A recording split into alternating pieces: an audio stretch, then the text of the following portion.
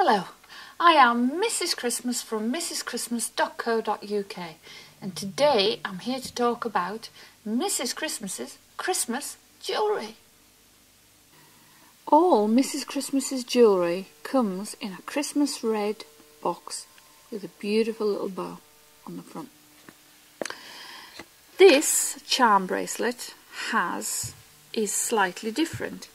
It is from one end to the other, if I just get my ruler out, 20 centimetres.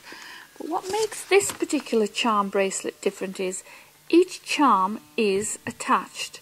So you can take these off, put them on a spare necklace or your keyring and use them, or your handbag, attach them to your handbag.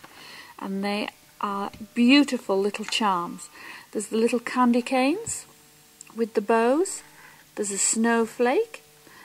There's a snowman. There's Santa on his sled. There's a beautiful little gold reindeer with a little crystal harness.